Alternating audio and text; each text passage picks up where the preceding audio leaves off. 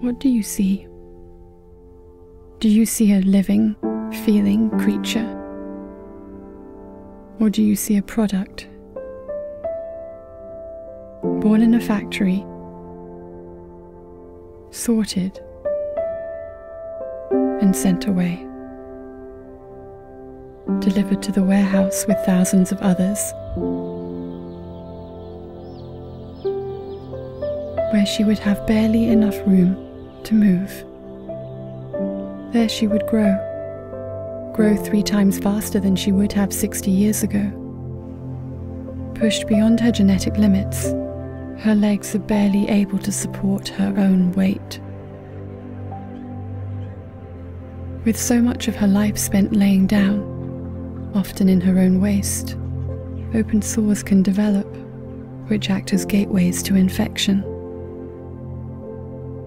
She may not make it. Every day, countless chickens are born into these very circumstances. But does it really have to be that way?